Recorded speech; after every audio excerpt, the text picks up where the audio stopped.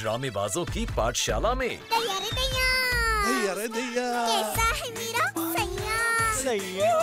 Superstar Kamal Haasan ने सीखे acting के लेसन शेर होते सरदार शेर होते हैं।